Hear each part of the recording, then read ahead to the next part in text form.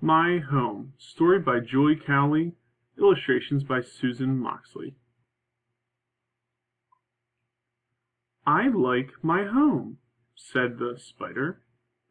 I like my home, said the bird. I like my home, said the rabbit. I like my home, said the dog. I like my home, said the man. I like my home, said the space girl. My home can fly. Thanks for reading with us. This book was read by Storytime. Subscribe to our channel for more books in the future and learn to read with us. Thanks.